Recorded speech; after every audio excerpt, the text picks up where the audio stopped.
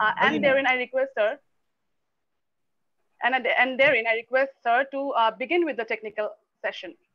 Over to you, sir. Thank you so much. Thank you very much. Uh, I must begin with thanks to Dipen and his colleagues for having asked me to speak to the participants today. Well, I must begin with a very clear statement about the fact that uh, these workshops uh, are generally aimed at enhancing the capacity of the college teachers and research scholars to do their work better. But now I must tell you at the beginning that when uh, these people request me to give MCQ questions on the lectures, I find a little difficult. The, the reason is very simple. That in social sciences, there is hardly anything which can be said in terms of yes and no. There's hardly any question of any substance or quality which to which a definite answer is there in social sciences. Everything is qualitative and relative in social sciences. We must remember that. Unless you ask very trivial things like the number of a particular article or name of the author of a particular book, the year in which a particular declaration was made. These are things you know, which are very elementary. And I expect people who sit for class 10 examination to answer that kind of questions. In fact, when this was originally proposed to the University Grants Commission to start MCQ questions even for other exams, we were opposing it because while in some of the natural sciences it could be possible, in social sciences it is virtually impossible to find one answer for most important questions. Most important questions. Unless you decide to ignore the doubts about answers which are generally accepted. That is why, but despite that, I have decided that that's why you'll see that I have given facts you know, in this lecture, which I would have just left you to uh, look up yourself. There's another small thing I must tell you, that as a student of MA class in 1968, my best teacher, Professor Santi Swarup, who has come from Oxford, taught us something very interesting. He said, Song on, song on. What is that? Music. Uh, I'm requesting all the participants to kindly mute their mics. Your mics. Uh, you know, he told us very clearly that for those who have done an MA uh, or are pursuing research, for them, what is there in the books is not very important for us to teach because they can go and read the books. What is not there in the books, meaning an interpretation of what is said in a particular book or in a particular research paper, the interpretation of that, criticism of that needs to be uh, conveyed to them. You should open their eyes to interpretations. That is what is important for teachers or teachers at the university level who are doing their, to students who are doing their MA, or when I speak to a group like yours, college teachers. But, and that is why normally I do not mention very, unless it is very, very important, facts. Facts I take for granted, people can go and look up books, look up dictionaries, look up uh, resource materials, and you can find facts. But it is important to understand how to interpret those facts. And if there is already an interpretation, how to critique that interpretation. See, the task of a college teacher or a university teacher or a researcher is to challenge what is there in their front. Try and see that it is whether it is wrong. Only when they are convinced, they should accept that. With this, let me begin with this particular uh, session. And I've been asked to speak on the human rights of the marginalized communities. Well, as you will see, that this idea of the community, marginalized community, is a little problematic. I'll come to that in a few minutes. But if you look at any country in the world, you'll find some groups which confront barriers that prevent them from fully participating in political, economic, and social life. Such people are discriminated against or disabled by society. They are generally poor, uneducated, or less educated, and without access to power. Being excluded from economic, social, political means of realizing one's potential can adversely affect groups of people. This is a very, very uh, difficult thing. When you see any society in the world, you'll find this situation. Some people are disabled in various ways. And these are people whom I would call marginalized. When you look at India, the part three of the Constitution of India guarantees fundamental rights to all citizens of the country. Not only that, in an interpretation of this particular part, it is very clearly held by our courts that these fundamental rights are extended to all the people who reside in India. Whether you have a right to vote or not is immaterial, but these are available to all those who live in India. It is something very interesting. But however, despite these being constitutionally available to citizens, they are not equally available to everybody. There are people to whom those, these are not available. In India, and also in many other countries in the world, caste, patriarchy, and discrimination against third gender seem to have prevented people from accessing their natural rights, human rights, etc.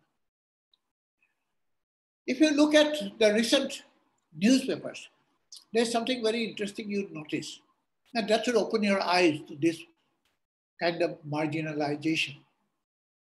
You know that in the Olympics, when our players participated, there's a particular group the women's hockey team, which has performed very well. But then, towards the end of it, when they were fighting for the final stages of the competition, they failed. It is very, you know, easy in uh, Olympic, it happens. At the, you can get defeated in the semi-final, you can get defeated in the quarterfinal. This can happen, you can obviously get defeated in the final that does not mean you are a bad team or you are a bad player, bad athlete. But what happened was, you remember that since the hockey team had a number of Dalit women in it, particular sections in our society started trolling these people and started saying that we have lost because we had Dalits there. If we didn't have Dalits and if we had sent Brahmins, we would have won. As if the Brahmins are better athletes than any Dalit. Who is Chopra? You know him. Well, he is not much of a Brahmin. Very bad, very sad. Now, one should, but this is an attitude which very powerful sections of our country have. And that creates a situation which marginalizes the people who are Dalits, who are untouchable, who are not upper caste Hindus. Very sad. But there's an unscientific attitude but this is a very powerful attitude in our country. Now, therefore, one must, and the same thing is true about women. Very often, women are discriminated against, and that is primarily because the society is patriarchal. See, there is now evidence, the ladies who are present here will be very happy about it. There is now evidence all over the world that women seem to be better teachers. There is no doubt about it. It has been proved repeatedly. And yet, when you sit in a selection committee in a college, a principal has to say, well, preferably I'll take a man. Other things being equal, he will say that, other things being equal, I'll prefer a man. But actually other things are not equal, even then you'll take a man. Ridiculous. But these are attitudes which discriminate against women because women is a weaker section, it's a marginalized section. third gender, of course, is virtually untouchable. You know that. And it took Supreme Court recently to emphasize that we should not discriminate against them. Now, when you look at the atrocities committed against various sections of people, you notice something very, very interesting. Atrocities against the SCs and STs during 1919 and 20, uh, sorry, uh, 2019 and 2020 increased by 7.3% and 26.5% respectively. Those increase. And which are the states which were at the forefront of this increase? Uttar Pradesh has the most, the highest number of cases of crime against Dalits, who are scheduled castes. Madhya Pradesh had the highest number of cases of crime against Adivasis. And you know who rules these states. You know which is the most powerful social and political force in these states now. That creates a problem. That marginalizes a large section of our population. And see, if you look at the National Crime Record Bureau, which records crime, there's something very interesting you notice. Despite large number of cases of mob lynching, the NCRB did not release the data on such cases. NCRB uh, RB releases all data of crime every year. And particular, this particular crimes were committed against whom you know, who were lynched in the name of protecting cow, the Muslims, a minority group, one of the most marginalized in our country today. And the interesting thing, one of the government agencies, the National Crime Record Bureau, decided not to report these cases. And they said because the evidence which are there about these cases are vague. Who are they to decide whether they are vague or not? It's just court which will decide. But yet they did not uh, report this. There's a very interesting case. Many of you know this, but I would like to refresh your memory about this. I don't know how many of you would remember a man called Pehlu Khan. He was murdered by a mob in the name of saving cow, Goraksha.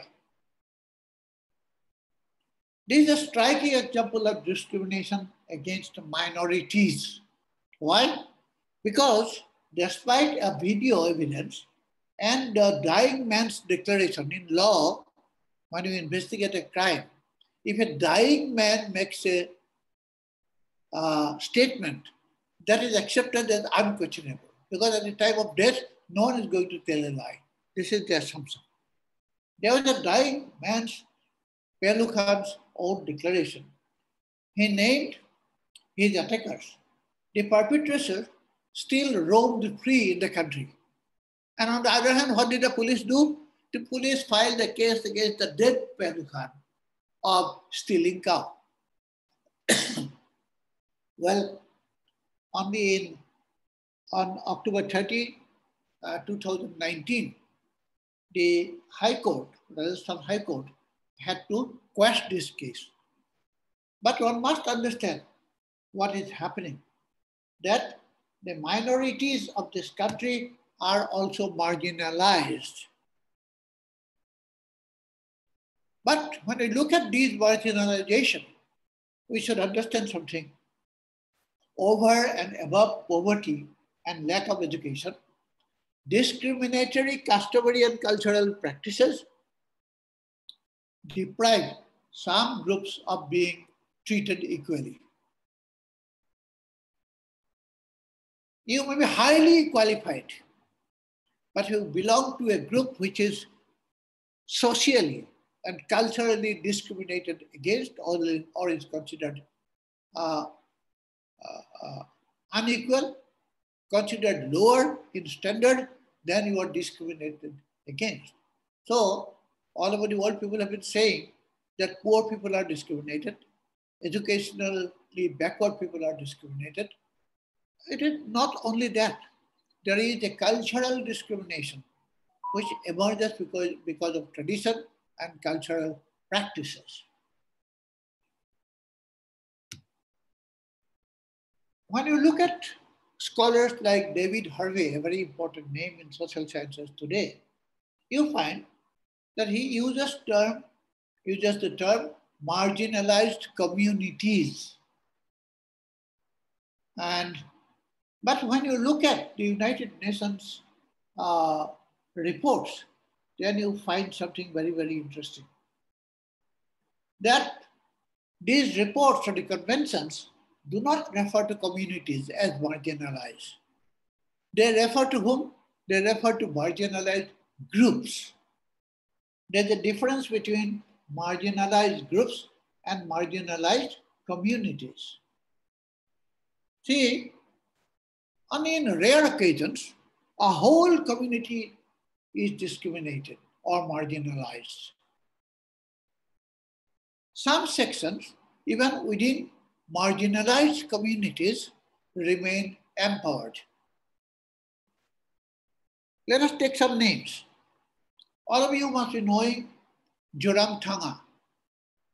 You must be knowing Conrad Sangma. You must be knowing Smriti Irani. You will know Sonia Gandhi. Are they marginalized? You cannot call them marginalized. They are very powerful people. Yet each one of them belong to communities which are identified as marginalized communities. Women are considered marginalized communities tribals are considered marginalized communities. Now, what does it prove? It proves that there are exceptions in marginalized communities who may not be actually marginalized, who may be powerful. These exceptions may play a very major role in their respective communities in uplifting them, provided the community remains cohesive. If a community is cohesive, it is possible that these exceptions like Sonia Gandhi, Smriti Irani among women, or Zoramthanga or Conrad Sangma among scheduled tribes may play a very important role in uplifting their community, bringing them out, out of marginalization. It is possible if the community is cohesive. But if you look at the world, the cohesive communities are, have been generally affected by capitalism, globalization, individualism, and consumerism. These have actually dislocated identities of communities and therefore their cohesiveness is gone. Now, in 19th century, a person who was a tribal, he would normally take his own community along with him. Or he would consider himself to be a part of that community. He is bound by the norms or he was bound by the norms of the community. But today, when capitalism is in its late stage, late capitalism, when you have globalization, he does not feel. Lots of people who belong to tribal communities do not behave like tribals. Their friends are not among tribals. Their friends are, their friends are high and mighty, very powerful. Why? Because the cohesiveness of that community is no longer there as a result of the influence of globalization and capitalism. You pass IAS, you have left even your family behind and you have entered a different club one must understand. You become a successful businessman, your friends are successful businessmen from other communities, from all communities, and you have left your community behind. You do not treat your community specially when you just move ahead in the social ladder from your general community. So we must understand this. Uh, so this is the problem of uh, working from home. My granddaughter, four-year-old, tried to peep into and tried to show her face in the video so that you people can see her. Anyway, uh, the, this idea, but then people mostly believe that the communities are cohesive, though they are today not cohesive.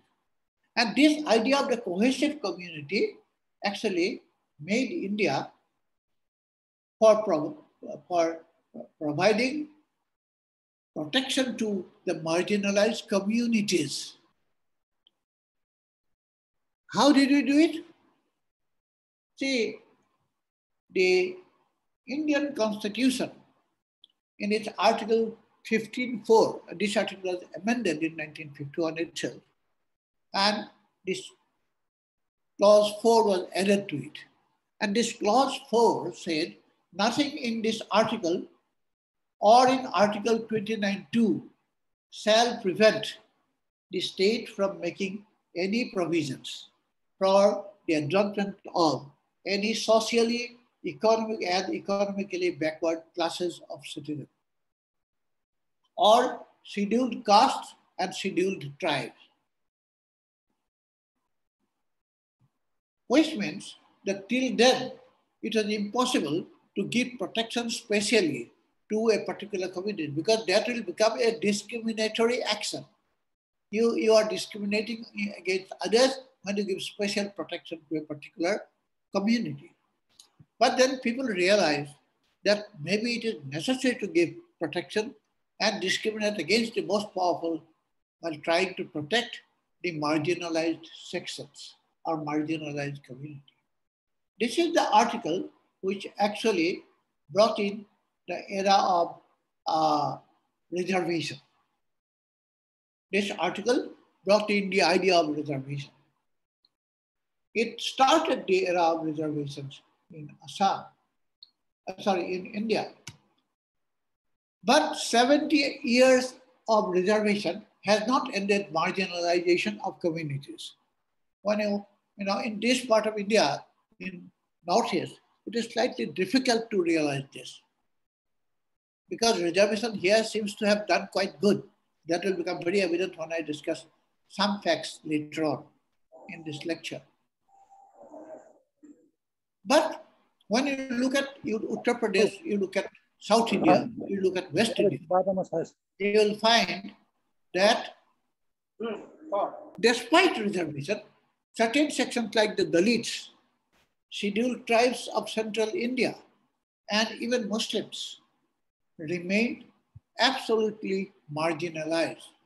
Reservation had given opportunity to some of them, but the community as such could not rise above discrimination. This is what one must understand. The other thing that I would like to draw your attention to is that Article 15, 4, Clause 4, does not mention minorities. But minorities in this country are marginalized, one must understand. Even third gender is a margin, marginalized section, one must understand. It's a minor, minority group.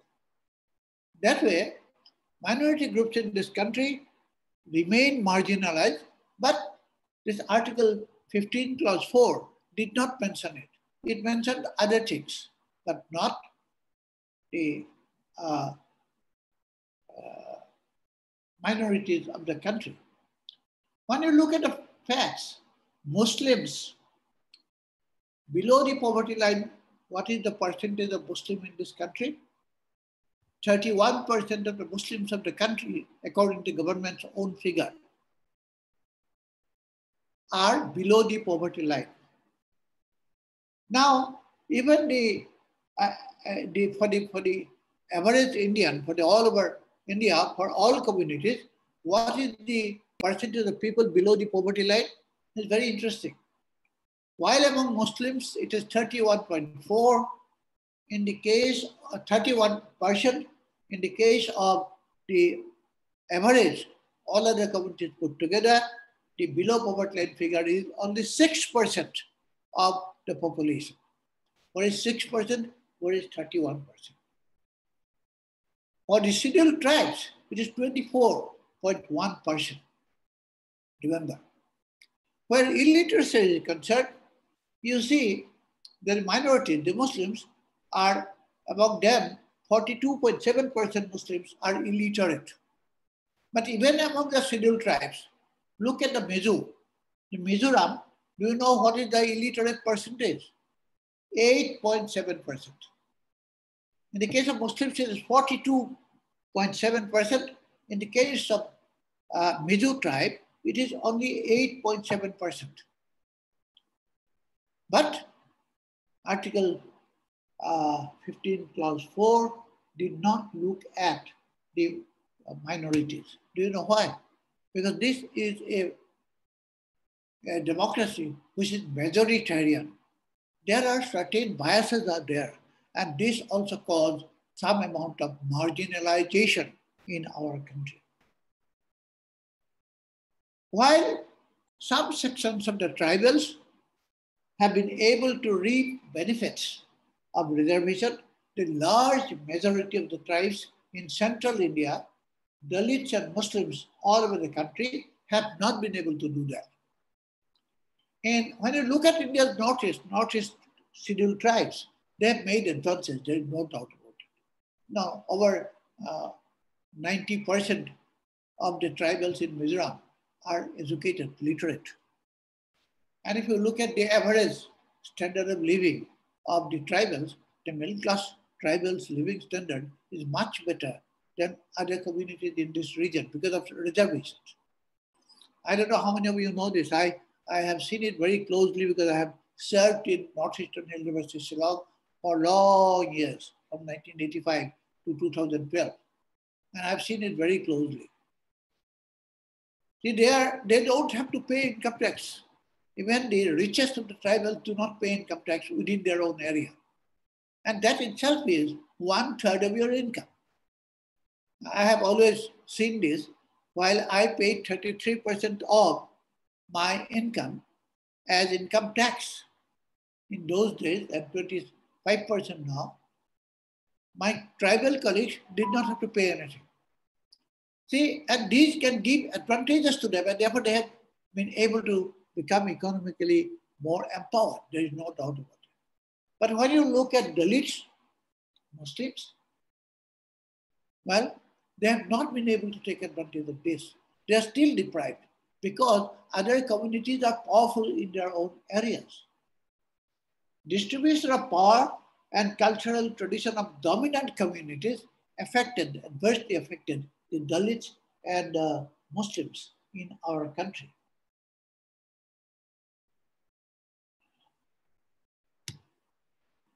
Therefore, the sum and substance of what I have been trying to tell you is that what you need is access to political power. Access to political power is the key to overcome marginalization of any community or any group.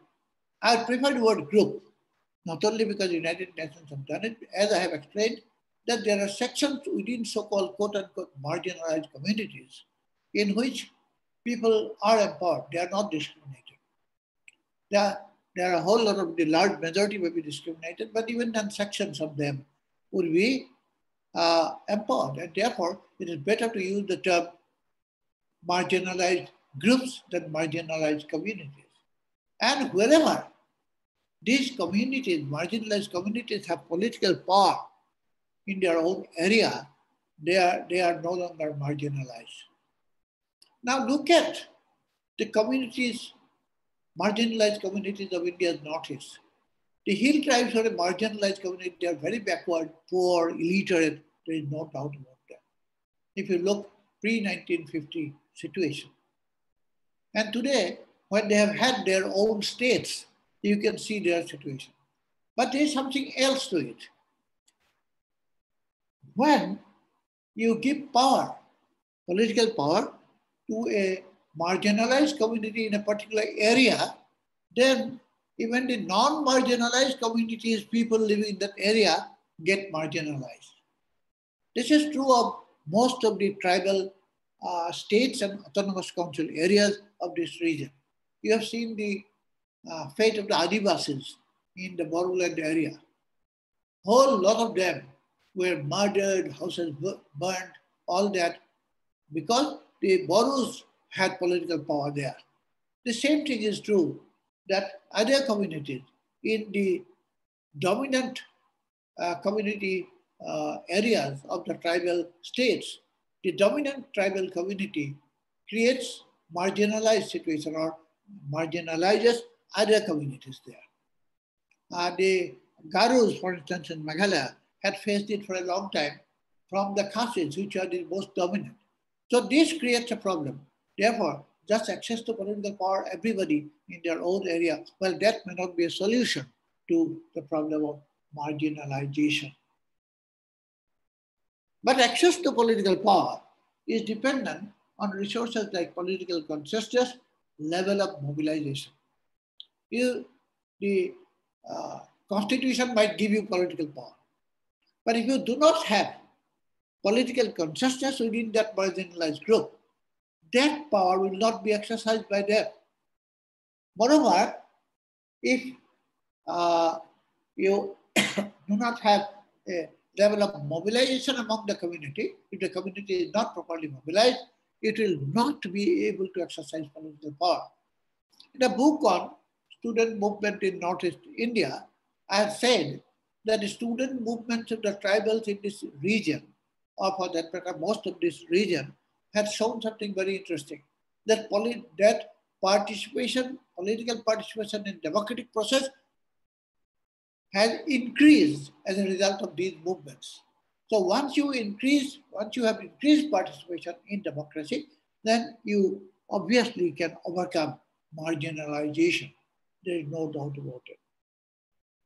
Now the human rights of the marginalized section, therefore, is not only a matter of constitutional guarantee. You cannot do it only by framing a law or passing an order. I keep saying it repeatedly that though many people do not really understand it, law merely regulates. What governs is politics. You can have a constitutional provision guaranteeing access to political power for marginalized community. But if the politics does not support that, that law will remain a law only. One must understand that. Society restricts human action more than the state. One of the most important person who has said this was Hannah Arendt in her book on totalitarianism. She has shown that yes, the state can control you, but the state cannot observe you all the time. There are times, but with the Pegasus now things might be different. Even your bedroom will be known to the state if the state decides to do that. But otherwise, the state cannot constantly monitor you. But society can monitor you every moment because you are in society. So social restrictions can create problems, serious problems for uh, uh, communities for accessing political power and therefore uh, overcoming marginalization. Once politically empowered, even generally marginalized communities might marginalize others. That is another question we must uh, take. We must be careful about it. Therefore, I'm arguing that while it is true that the poor, the educationally backward people and minorities are people who are marginalized and their communities are marginalized, but there are only groups of them since some of them are empowered within those communities. Therefore, I would call that what you have is marginalized groups. The second is that deprivation of political power makes it possible, marginalization. And the third, that it is society which social practices, tradition, which uh, affects communities more than the state, the law, the constitution itself. Uh, with that, I'll close. And if there are questions, I would like to answer. Thank you. Thank you for listening to me. But if there are questions, I'll be happy to answer them. Uh, thank, thank you so much, sir. Thank you so much for this enlightening uh, speech that you have just delivered. Uh, I would now proceed uh, for the question answer uh, session. Uh, any participants wanting to ask any questions are welcome. I just saw a message popping asking for your email ID, sir. Uh, they, a person was asking about your email ID, a participant. So, uh, any other questions in the pop box? Uh, so your mic is muted, sir. So kind, uh, could you please kindly unmute your mic, sir? I said that email ID is already available in the Right, right, sir, right, right, yes, right, right, right, right. And I'm very happy if people email me and ask questions, yeah. criticize me. Sure, sir. Sure, sir. Any any questions on behalf of the participants is highly welcomed.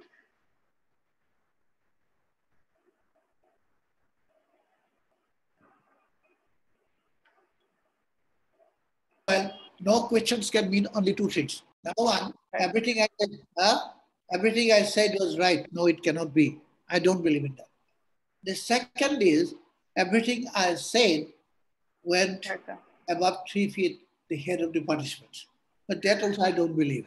The third is uh, that we are generally very timid. I welcome criticism and question, and I respect only those who criticize me. Those who keep on saying, yes, sir, well, I am not very respectful of them. That's all. Thank you.